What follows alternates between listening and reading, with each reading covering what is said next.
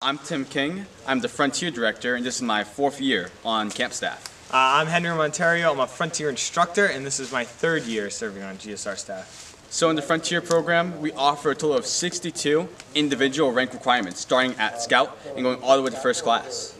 Our area definitely benefits them in that they get uh, experience with other scouts throughout the week, and they get to be prepared for a whole lifetime of scouting. So we give them that initial foundation, and they can take it from there. So in the Frontier program, we divide them into patrols and make a kind of mock troop, mock troop, and those patrols are kind of like individuals collaborating together for one goal.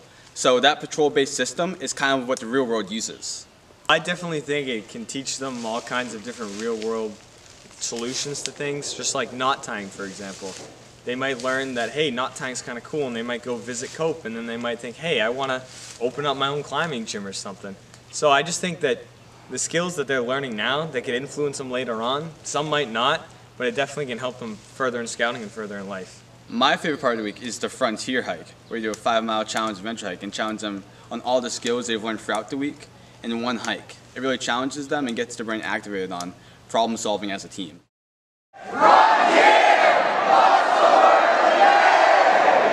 One, two, three.